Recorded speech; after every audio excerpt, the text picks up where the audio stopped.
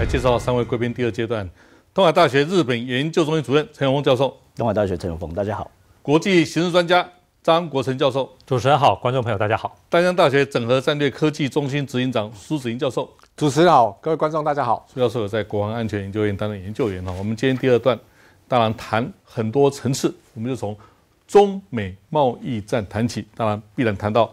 从东北亚到东海，到台海，到南海，到印度洋，这整个国际形势，我们来看看最新的中美贸易民事新闻所做的分析报道。七月四号，美国国庆，总统照例在白宫阳台发表演说，白天照例烤肉野餐，晚上照例放烟火庆祝。但许多媒体心里想的却是两天后。会怎样？地图一摊开，美国和加拿大、墨西哥、欧盟还有中国都在打贸易战。不止烟火，美国人的国庆大餐也和外国产品脱不了关系。中方绝不打第一枪。简单来说，美国是在向全世界开火，也在向自己开火。月六号，等待已久的黑天鹅终于来袭。全球股市似乎早已利空出尽，反应不大。真正胆战心惊的还是相关业者。同样瞄准总值三百四十亿美元商品，美国以中国机械、汽车零件和医疗设备为目标，总数超过八百项；中国则是锁定美国修旅车、原油和食品。包括牛肉、海鲜以及黄豆等经济作物。不过，这还只是第一波。未来两星期，美国还将针对一百六十亿美元的中国商品加征关税。届时，双方受影响的商品总值都将达到五百亿美元。而且，川普还放话表示，未来总额可能达到五千亿美元。美国打着保护智慧财产权旗号，目标中国科技业。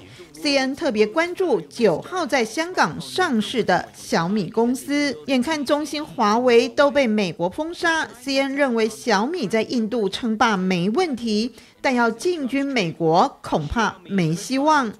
另外，或许就因为美国摆明要挡住中国高科技，中国这一阵子对中国制造二零二五言论转为低调。中国当局向媒体下令，禁止在报道中提及中国制造二零二五计划，以防止引起西方国家的警觉。而相对于美国，中国挑选的报复对象就带有浓浓的政治味。做一个政治评论节目的主持人，最重要的工作，找一流的。具有台湾认同的专家学者，来对国际形势做最清楚、明确、理性、客观的分析，这是我最重要的义务、责任、承诺。哈，正如这个杂志所做的图表，中美贸易战再度升温吗？从双方的中方的五百亿，美方的四千五百五十亿，到美国掌控中方的半导体一半。哈，换句话说，如果这图表胜负可以看出来。即使如此，我们邀请三位哈，因为永峰教授是日本问题专家。川普要什么呢？他安抚俄罗斯，牵动北韩，压制中国，台湾当然是盟友，也有可能是棋子。到底川普要什么呢？这本书所提出的问题，永老师，请分析。呃，讲过非常多次，十字军西征。呃，会从大西洋到太平洋，然后路过我们非常非常关心的东亚，呃，经过印太，呃，直达伊斯兰教的世界。那不是一八五四年的培里黑船一样吗？呃，像不像？呃，培里当代版的培里黑船事件。呃，一八五三年的黑船事件对于日本而言，哈，呃，当然是因此而开国，而开放市场。呃，美国现在各位看起来好像是内缩，但是对我来说没变过。呃，各位看这个图版，海洋国家三位一体的国家利益，呃，对于美国而言，对 Younger Section 的的海洋国家型的的美国而言，第一个，呃，这边非常清楚，呃，海洋利权的确保，呃，所以一直在讲航行的自由。呃，通商贸易的排除，战后以来是美国的体制我们叫做拉丁文叫 Pax Americana，呃，美国式的和平，因为美国的一强，呃，或美国的的非常的强大而造成的世界的不再有大国跟大国之间的战争。各位拿第一次世界大战跟第二次世界大战，还有战后的体制，各位来做比较，马上可以清楚的看出一件事：第一次世界大战跟第二次世界大战。全部是工业国跟工业国之间的战争。第二次世界大战之后没有了，所有的战争不是打一半，不然就是还没开打你就知道哪一边会赢。就像现在的英法或者是美国，呃，对于叙利亚的的轰炸还没去，大家就知道哪一边会得胜，而且炸了就走，而且那个战争也没有结束。呃，伊拉克战争也差不多是这个意思哈。最后，当然他要的是自由贸易体系的构筑。所以，我们今天在这里，当主持人在问我或问我们，美国到底要什么，惹恼了全世界大部分的国家，只有对台湾看来还有很多的好意。所以我完全不认为那一件事情是真的对台湾的好。当一个美国惹恼了 EU，对日韩也不是很客气。对中国又采取非常大规模的贸易战的时候，甚至连他的邻邦，以前我们常常会讲这件事。呃，中国的旁边因为有俄罗斯或其他的骑马民族，甚至南边的印度的存在，所以中国不容易发展，因为外患很多又强。美国为什么可以发展？是因为 加拿大跟墨西哥基本上对美国呃不构成威胁。但是今天美国自己主动的骂加拿大的总理说，在 G7 之后啊。呃，事先离开就是去参加新加坡我们非常关注的的跟金正恩的会面，说地狱有一个位置留给你。这个主持人一定最知道，基督教的世界里面讲这种话已经没有办法倒转，因为天堂跟地狱它的对比性实在太强烈。另外一边跟墨西哥之间逐强，而且真的墨西哥买单，是你们的人跑过来，不是我们人跑过去，你当然要买单。呃，所以全世界全部。被美国一个一个的点名，用各式各样的，包括移民的，包括贸易的，包括其他的军事的，呃等等的，呃产生了摩擦或冲突。而单单在这样的状况底下，呃对台湾反而每天的报纸都有。呃现在连虽然那个知情的人的话，呃并不是什么特别的事情，呃美国的第七舰队事实上是日常性的通过，台湾的周边。不管是不管是太平洋或者是台湾海峡，所以那一件事情当然可以拿出来宣传，但是不是太特别的事情。呃，当然还有再来 A I T 在内湖的新馆，呃，还是说在这里要进驻，这当然是具有非常非常象征性的意义。我在这里提提前讲一下，呃，如果这样的事情要定着话，或蔡英文政权真的自认为自己是海洋政权，非得跟日美。有高度的联合，而且不倒转，所以我经常说的“亲海远陆”或白话文的话，“亲美国，反中国大陆”呃的状况要持续的执行，而且强化的话，把苏澳港跟左营借给美国，而且定定国内法。美国对台湾有《台湾关系法》，最近又定了《台湾旅行法》。不好意思。我们反过去，既然现在蔡英文政权控制了行政跟立法，提案定定美国关系法，定定美国旅行法，看看。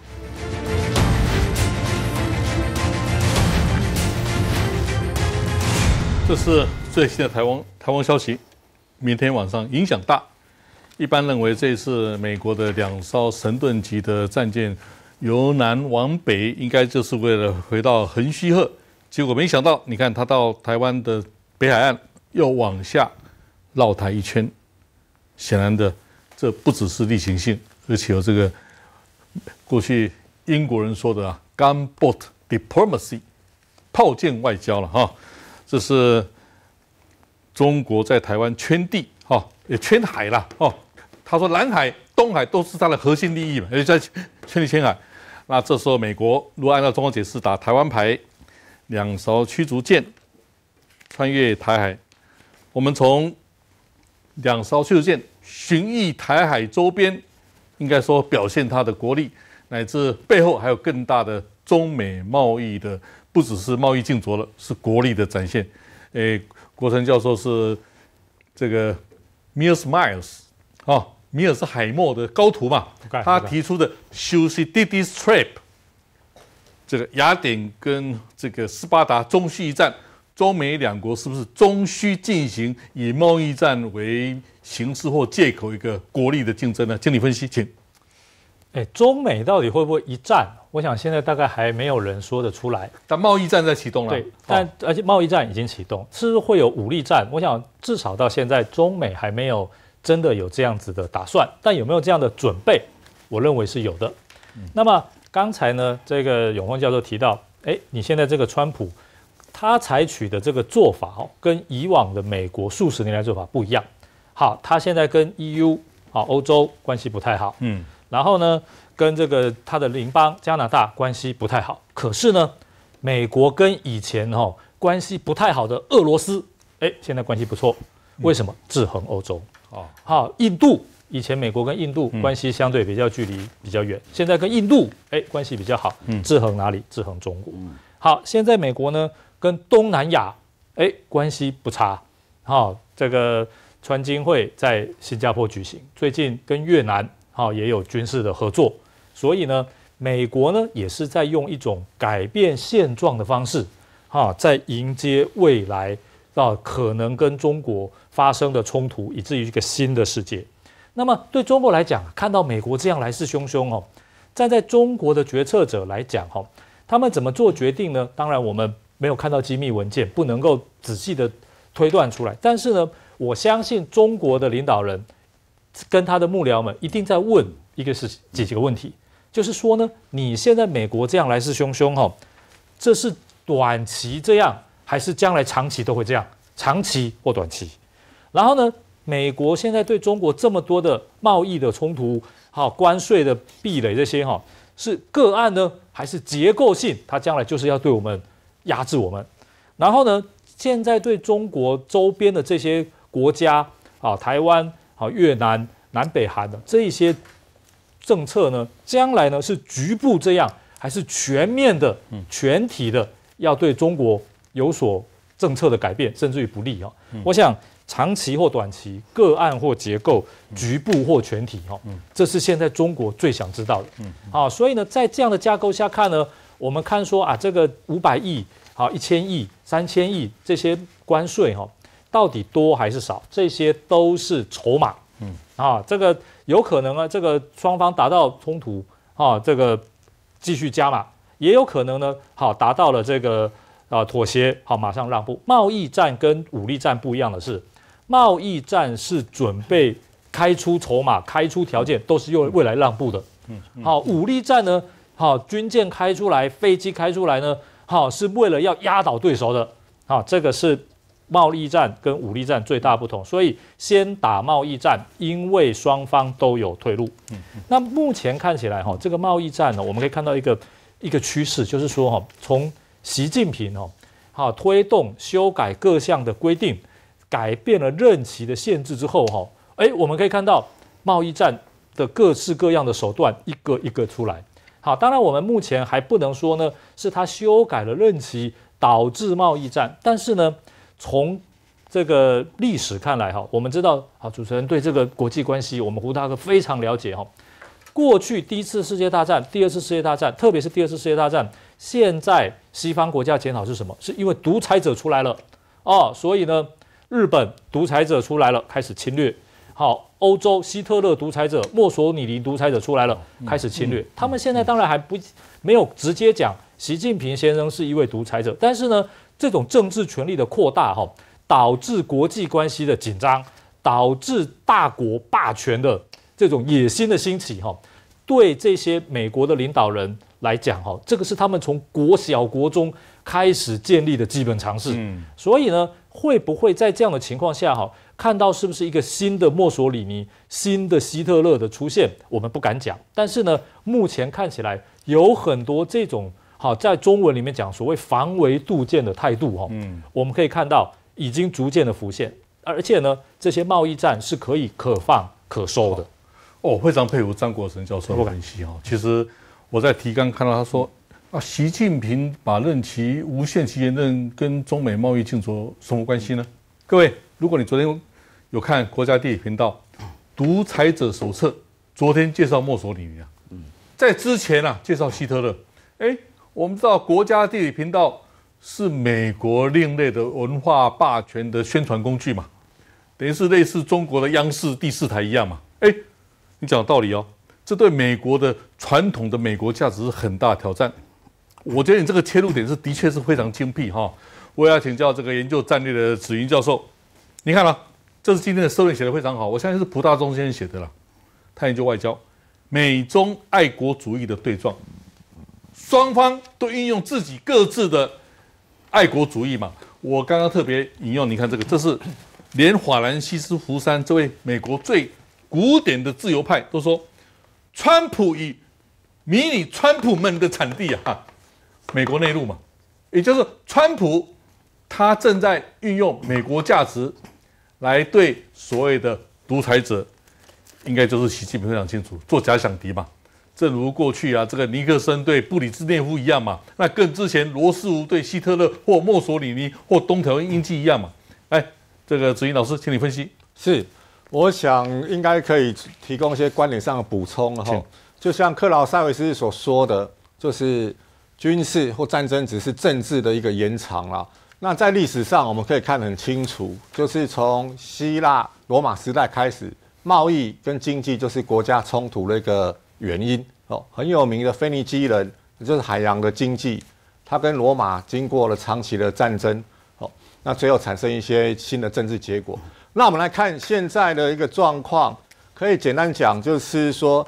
川普是川普们，还是说他是爱国主义？有，的确两边都有爱国主义的那个内涵在做一个支持。但是各位请记得，就是川普在竞选期间都是美国优先，和就是他强调是所谓的不公平，要去除要不公平的贸易竞争。我们看所谓自由贸易，其实现在是处于一种虚假，就是聪明不务实的状况啦。就是中国的市场，它对外是采取非经济的手段。去做呃，就是替代关税的一个手段，好假的贸呃自由贸易，但是实际上有很多行政或是说规格上的呃阻挡和让别国的商品不能进来。那在美国看起来的话，就是说每年两国的贸易逆差，美国损失将近三千六百亿美金到五千亿美金，这是什么概念？如果是三千六百亿美金，大概是十兆台币左右，就是台湾中央政府总预算的五倍。那在这个总在这个逆差的部分，呃，对中国来讲是顺差啦。哦。那我们换算了一下，大概占中国 GDP 的百分之三点零二左右。哦，那在这种情况之下，中国它每年都说经济要保七，呃，就保保证七呃的成长率。那如果美国凑单了，就是用关税来做一个对抗的话，那对习近平来讲的话，大概就真的是动摇国本了。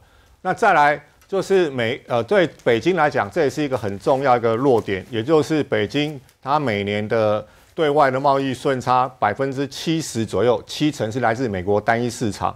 好，这是一个大背景。那我们先来看，就是刚才国成教授讲了一个非常关键的，为什么西方国家对中国这个高度的警觉？一方面是所谓现在讲的很热门啊，瑞实力啦。嗯嗯。哦，其实真正原因是因为中国模式的输出，哦，这让欧洲跟西方国家产生一种希特勒再起的一种幽灵的那种恐惧。哦，所谓中国模式，就是包含了经济，还有这种所谓一党独大的威权政治，在开发中国家看起来好像是最有效率的。可是，可是我们现在来看历史，一直不断的重复。一九三二年，希特勒的纳粹党，他修改了威玛宪法，哦，加上一个条文，就叫做希特勒。呃，纳粹党是唯一合法的执政党。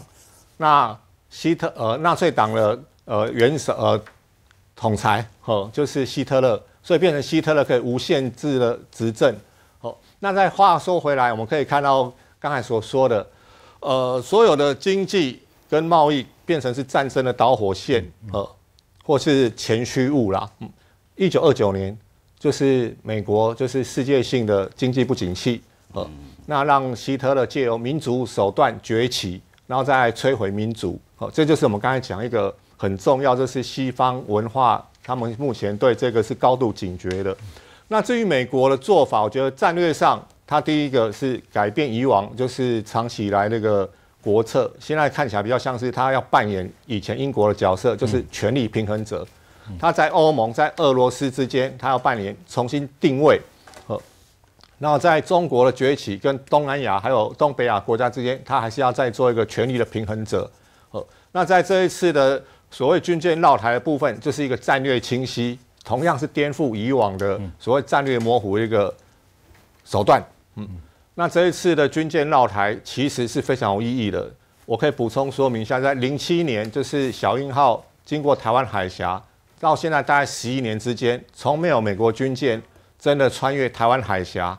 呃，那这一次往北开，然后再绕一圈往南走。嗯，呃，这个传递出了讯息很清楚，有点像说是韩战。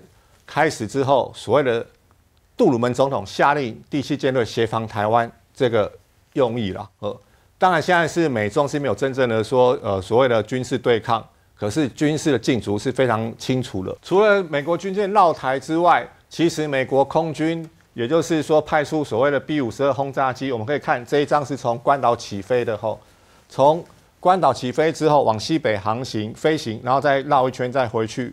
呃这是台湾南部的宫古海峡。同样的，在另外一张图也可以看得出来，美军的 B 五十二轰炸机是从印度洋的迪亚哥加西亚岛起飞，呃，往东飞行进入南海，然后再回程。这都向中国传递一个讯号，很清楚的，就是所谓的立体的反围堵啦。呃，那我们现在耳熟能详的所谓第七舰队在这边，它的辖区是所谓的西太平洋区，看起来非常强大哦。那现在所谓印太战略，也就是把第五舰队就在印度洋的这第五舰队这边的辖区，也就是划归给印原来的太平洋司令部去管辖。但是就是要跟各位观众分享，就是其实第七舰队还不是最强大的，最强大的是第三舰队，就是东太平洋的部分，它的战力大概是太平洋舰队的三点五倍。第七舰队只有一艘长那个长长期配置的航空母舰。第三舰队有四艘，它等于是第七舰队的后备队、预备队了，战略预备队。所以如果说台海或是东北亚这边有事的话，可能印度洋会过来支援，哈，因为印太战略嘛，哈。那如果说战事规模无法抑制或者是扩大的时候，那第三舰队就会往西，就是往太平洋方向前进部署，同时支援。这一点传递出了战略讯号，我觉得是非常清楚。那这种战略讯号清楚，有一个很重要的意义。就在于说，减少对手采取军事冒险行动的意志，或者是说，呃，野心。呃，这一点也是同样是对希特勒来讲是避免历史的重复。希特勒当时也是一样，他把所谓的军队派进莱茵非武装区，测试当时英国跟法国的防卫决心。结果他发现英国跟法国是没有那个维持和平的意志的，所以就变成所谓的一种绥靖主义了。那很清楚了，川普现在团队是要采取一个比较强硬的手段回击。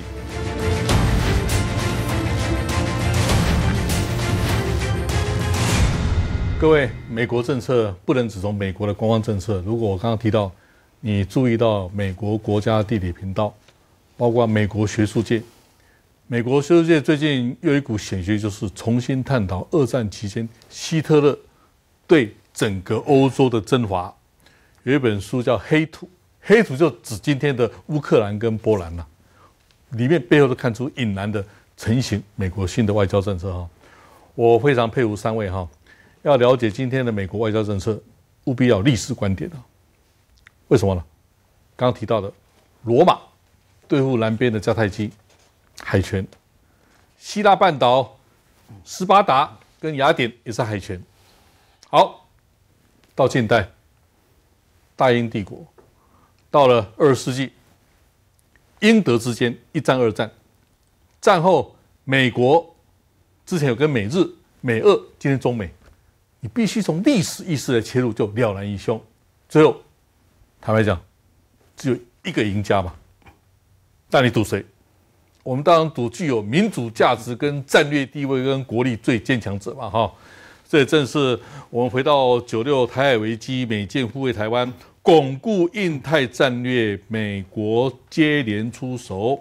高硕泰，我们驻美代表说的，北京已经踩到台湾的底线，美国跳出来捍卫传统。美国人所说的，麦克阿瑟说了，黄波提的太平洋的黄波提，中美贸易战背后，这显示中美两国的国家的总体战。我们再来看一段分析报道。说到农产品，美国黄豆果然首当其冲。中国二零一七年向美国的采购总值就高达一百四十亿美元。中国除了增加对第二大生产国巴西的采购量，并赶在七月一号将印度、韩国、孟加拉、辽国和斯里兰卡黄豆的进口关税从百分之三一口气全降到零关税。不仅如此，中国当局更从四月就开始要求国内黄豆增产。而对美国来说，生产的黄豆约有七成都卖到中国，农民难免忧心忡忡。就在贸易战开打当天，还传出有一艘来自美国的黄豆船，为了躲避百分之二十五的高关税，拼命加速赶往中国，一时成为全球媒体的瞩目焦点。但最后还是功亏一篑。不过，中国不仅赶种黄豆来不及。根据美国农业部数据，从九月开始的下一个年度，中国原本预定向美国进口一点零三亿吨黄豆，而全球其他国家能出口的黄豆加起来只有一亿吨左右。因此，有原物料专家指出，就算拉高关税，中国短期内还是不得不买美国黄豆。贸易战谁输谁赢还很难说。不过，美国诺贝尔经济学奖得主克鲁曼七号投书《纽约时报》指出，川普打贸易战乱无章法，对中国寄出的关税等于自我毁灭。因为在美国的加税清单中，以进口零件为主的中间财占百分之五十二，基具设备为主的资本财占百分之四十三，两者加起来高达百分之九十五，最终消费品却只占百分之一。虽然看似能减少消费者直接受冲击，但却会增加美国国内厂商的成本。更令人担忧的是，在全球化时代，美中两只大象互打，遭殃的绝对不只是这两国而已。台商如果到中国设厂，在当地购买原料，像是机械、石化、LED 等产业，通通都会受波及。等到第二波名单生效，电子零组件、金属业恐怕也不能幸免。我们的出口最大中三分之一是电子零组件，然后接着的话是资通讯的产品，接下来还有一些是金属、石化。所以虽然每个不到都不到两位数，但三个加起来也很大。而就整体美中关系来看，从美国提出印太战略，到视中国为战略竞争对手，再到贸易战正式开打。美中恐怕也将一步步走入黑暗期，关系再也回不到从前。我要肯定民事国际新闻中心，我昨天晚上看到新闻，我特别把它分两段筛选出来让大家分享啊。其实民事做得非常好，虽然我未必完全同意他的观点，我要强调，因为哈，美国的媒体今天基本上对川普总统是非常非常敌视的，所以我们国内在引用这些美国媒体的时候，也要务必非常非常小心。但是我们是台湾主体，哈，我们强调说，我们借这些美国国际的新闻来做台湾主体的论述，哈。这本是川普要什么？因为出版社邀请我介绍，哈，我也挂名推荐。其他提的问题非常好，为什么川普要安抚俄罗斯？最近刚提到，国生老师提到了，跟普京关系改善哦。为什么牵动北韩呢？Pompeo 刚刚从北韩回来啊，虽然无功而返。第三，为什么压制中国？中美贸易大战，台湾角色，川普把台湾当做盟友，我认为盟友也是棋子，都是了，两者都是了哈。换句话说，美中的竞逐后面牵涉到国际的新秩序、亚太的新秩序。荣老师，请你继续分析。嗯，先讲结论啊。现在美国的所有的反自由贸易的行动，各位听清楚。全部是为了新的、更利己的自由贸易体制的构筑。也就是说，作为海洋国家的美国，各位看这个板子，看下下半部分，呃，海洋国家跟大陆国家，刚刚两位老师也都提到了，海洋国家的特征是外向型的，不出去不行。另外，一定是自由的，负债附带上去当然是经济型的，而不是政治型的。大陆国家刚刚好相反，往内发展的，经济上是计划的，经常是独裁的。那所以美国在这样的价值系统底下，不出去不行。所以我一直强调，现在的川普美国到底是历史的新的方向，或者是历史的依托？我相信是后面那一边，是后者，所以会再回去，包括川普的继续当总统下去，甚至。呃，日本的官僚系统我已经讲过非常多次，早就在等后川普时代的到来。所以眼前各位看到了美国会转换的，呃，所以在这样的立场底下，再回到我前面说的，为什么说现在不过就是美国在重新定义更立即的自由贸易系统而已呢？一九四八年左右，GATT 的出现。当 GATT 没有办法在满足美国在自由贸易上的好处的时候，各位知道的，WTO 在一九九五年出现，台湾跟中国是基本上接连的，中国先进去，两千零一年，呃，两千零二年台湾又进去，而且中国是以开发中国家的立场进去，台湾竟然是那个是影响真的是太大，台湾是以。以开发国家的立场进去，呃，所以受到的限制非常非常的大。但是 WTO 的谈判对于美国而言又没有办法满足。这个当然后面的立场是，后面的要素是美国的国力在战后以来，因为长期的制度性的疲乏，真的是衰弱。胡大哥主持人一定最清楚，胡大哥留学美国的时代，说不定已经是美国开始感觉到自己衰弱的。的的景象，但是他的前面战后以来到胡大哥应该是一九七零年代去美国的，完完全全的在世界上没有敌手的状况。比如说东海大学，我待的东海大学，本来的教授们领的是美金，因为是美国人来盖的大学，是尼克森在当副总统的时候到东海大学。开工典礼，呃，所以也就是说，当初有非常多的好的教授在东海大学。后来尼克森当总统的时候，跑去了中国，见了周恩来跟毛泽东，呃，补助金再也拿不到，呃，所以从那个时候开始，东东海大学的历史性的大转换，这个我们全部呃在东海大学里面听过非常多的老教授讲这件事。所以也就是说，对于美国而言，转换那一件事情是清楚明白的。本来的 GATT 跟 WTO 到后来不能用了，奥巴马的时代提出了 TPP，到了今天，川普又认为 TPP 这样的构筑只能在政治上得到好处或安全保障上面得到好处，在经济或国际贸易上不一定会得到好处，所以又改了。变成是双边的两国之间的，日本超级害怕这件事。也就是说，单纯的日本跟美国两国之间来进行 FTA 的谈判的话，日本以一国的力量非常难阻挡美国要求改变日本的国内法，特别是农业、渔业、畜产的部门。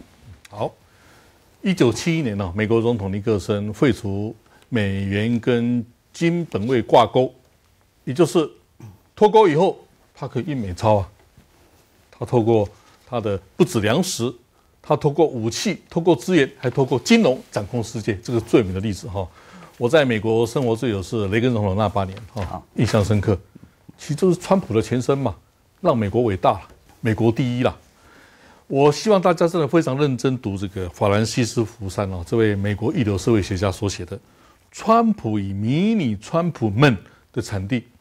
你如果了解美国的内政问题，就了解今天为什么美国总统川普要发动中美贸易的竞逐。他毕竟，如果他成功的话哦，十一月的美国大选，共和党会继续掌控国会哦。如果他成功的话，川普总统要连任并不难呐。我想，主要国成教授也在美国待过哈。为什么呢？川普充分掌握。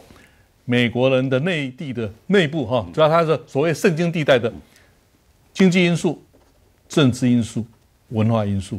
他我刚刚上一段引述了，他要掌控目前已经自尊心受挫的所谓的老男男呐，老男男在美国内地的这些比较纯粹的白白种白种人呐，哈，老白男。啊，所以他从内部投射到有两个地方，要请国成教授来解读美越关系、美朝关系。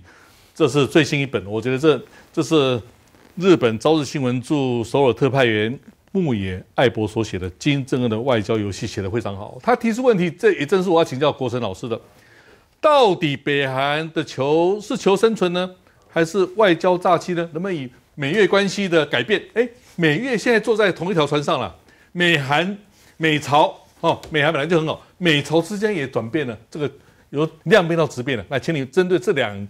三个国家的越南跟朝鲜跟美国的转变来分析，请。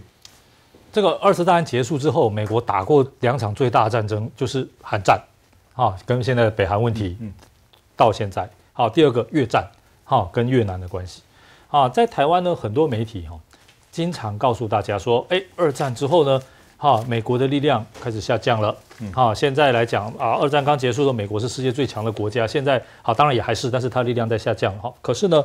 我们可以看到，二战刚结束，苏联就敢哈支持北韩，然后呢，包括中国在内都敢跟美国挑战，好打了三年的韩战，好后来呢，越战呢，苏联又支持北越，北越呢也敢哎跟美国挑战，哦打了七八年的越战，啊总的时间超过，可是呢，我们可以看到了，到了二十一世纪的今天，美国再去打伊拉克，再去打阿富汗，还有没有国家出来支持这两个国家里面的力量跟美国挑战？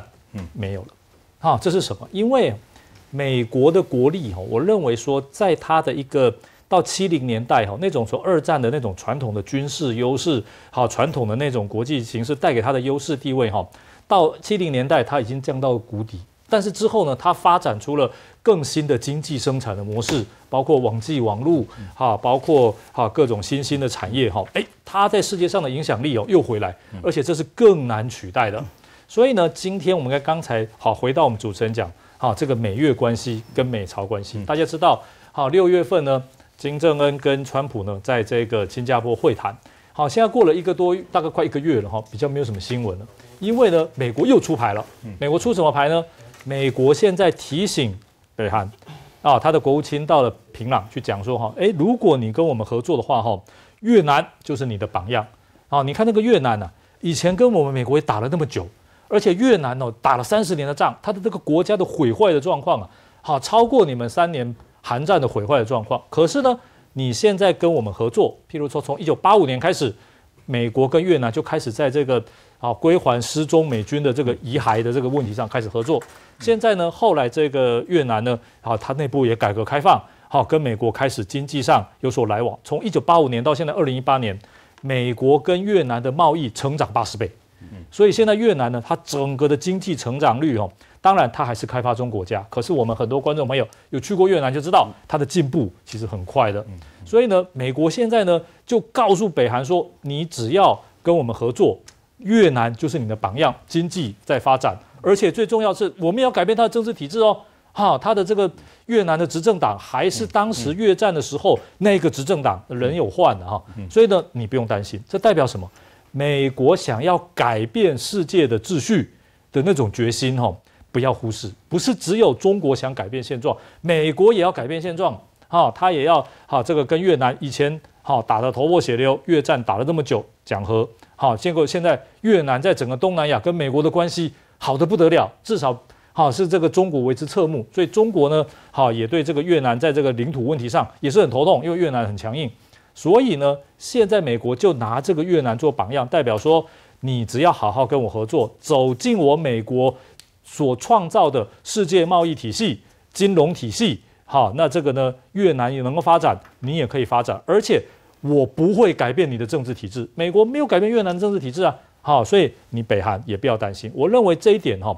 是直接在现在这个贸易美中贸易战的情况下，哈，又在挖中国的墙角，就是跟北韩讲，你跟我合作，好，保证你的未来虽然曲折，一定光明。好，好，卡普兰这位美国第一流的外交记者，研究地缘政治，他最近呢，他把南海问题研究以后，这本书台湾有中译本，他写一本书叫《西进帝国》，他从美国的东北角自己开车一个月，一直到最西南角的圣地亚哥军港，我们都参观过哈。他说啊，当你到圣地亚哥军港的时候，你就感受到为什么美国要维持全球十个航空母舰战斗群，要维持至少常态的三百艘军舰在全球各地。他为了捍卫美国的国家利益，这也正是这本书。这本书是刚出版最最好一本。两位哈佛学者、外交学者所写的《川普总统领导下的美国的外交政策的现象跟未来》，川普要什么？在这里面有一个非常重要的是维持国际安全一个承诺义务。来，请子怡老师来分析这这个这个层面。嗨，是我想就是最重要是我们看这些事情是所谓政治经济角度了，哈，不会只是纯粹经济角度。如果只谈经济的话，大概是不会那个有赚大钱的机会，一定要谈后面的价值。哦，这对一个公司经营也是一样。同样的，就是说现在很多主流的观点会说是像罗马帝国兴衰一样，认为美国可能就是说走向黄昏了啦。哦，诸神的黄昏其实未必。哦，特别是美国现在达成一个很重要的经济结构转型，就是它所谓的 energy independence，能源独立。它二零一三年开始就不用进口原油了。哦，这点非常重要。以往他们说在中东的时候，美军是为了油去作战，以血换油。可不好意思，现在美国已经是全世界第二大油产国，快要变成第一大了。哦，所以它反过来，石油变成美国战略武器。这个战略武器也就间接的变成美国压制中国所谓贸易战的另外一手了。哦，这个间接战略非常的清楚。那第二个就是说，同样的，我们来看北韩问题，就是北韩。美国希望它变成越南化，也就是说，它维持自己的那个政治体制，好，那经济开放，这都符合金正恩的利益。但是它在呃国际的政治上面会倾向导向美国，但是至少维持中立，或者是不要跟中国合作，这样美国可以专心的来对付中国。那回到地缘政治了，就是中国“一带一路”其实就是麦金德的那心脏地带论的一个延续啦。你看，他现在“一带一路”就是都是走那个所谓新月带，他希望把所谓的那陆权国家的经济往西中亚去发展，来平衡对美国的依赖。呃，可是这个挑战非常的大。那现在印太战略就是新月地带外面的在一环新月，和，围堵住中国，而且把这些海洋国家的海洋经济的利益全部绑在一起，呃，共存共荣，这是美国的一个走法。所以我个人认为是。川普应该算是一个务实的保守主义者。好，川普总统最近即将出访，几乎是绕地球一圈。我们在一周后同样会做评论哈。第二，有一位英国前外相叫 David Irvine，他写一本书，他后来写，他是精神医学家，他写说你要了解政治人物，一定要从心理学来了解哈。等下我来介绍每日一书，但最后一个问题要留给永龙老师，几分钟好，简单。你说要了解中美贸易大战。要从汇率的观点，为什么呢？简单讲，呃，也就是说，重要的现在已经不是关税。呃，各位看看，因为我的研究对象是日本哈，呃，这是呃美国对于日本跟日本之间的贸易摩擦所造成的。对日本的最强力的是让日币的不断的升值。一九七一年尼克森震惊之后，美金就再也不是金，所以当然贬值。呃，从三百六十块到两百六十块，到了广场协定，一九八五年非常非常有名的，从两百五十块到一百六十块，这个都是日币哦。然后到了亚洲金融危机的一九九零年代的末期，日币升到了七十九块，非常非常有名的是阪神大地震之后。到了三一一大地震之后，又升到了七十五块，这个全部破纪录。也就是说，安倍晋三上来之后，如果有任何的意义的话，是日币的贬值。不过要挂号，这个日币仍然是升值的。如果你跟三百六十块比的话，今天的日币是一百一十块。嗯，所以也就是说，从安倍晋三上台之后，从八十块左右到了一百二十块，升值了三十趴以上。单单在这里，日本。我们用 Toyota 用丰田汽车来看就知道了，八十块的时候，丰田汽车也是挣的，是赚钱的。所以到了一百一十块的时候，丰田汽车什么都不用做，就多赚了三十趴。所以我要强调的，台湾也一样，重要的是汇率，而不是关税。如果我们认为台湾也是贸易国家的话，讲得非常好哈。哪个国家掌控汇率、掌控资源、掌控武器，它就全球争霸。我记得好像基辛格做过类类似非常精辟的论述。我要特别强调，要从精神医学、心理学了解政治人物，这是英国前外相 David Irvine 所做论述，非常佩服。我希望大家能够鼓励哈，大家来看新闻大解读一百五十二台，我们的所有资讯都在这个胡忠信新闻大解读可以看到。这本书，我希望大家重新用精神医学、心理学了解川普以及川普们，包括习近平为什么言论很多精神状态。这是来自宋文礼教授的便利，他说啊，你要了解临床医学、心理学，重新阅读弗洛伊德需要不同于已有的约定成熟的译法，而这种从艺有其重要性和必要性，并以译注和提示评注多管齐下，将弗洛伊德的未完成式。带向我们的正在进行式，在了解政治人物里面，你多培养精神医学、心理分析的方法，你就可以了解政治人物的正在进行式。感谢三位，未来我们要探讨川普他正在进行式的环球之旅留下什么？感谢三位。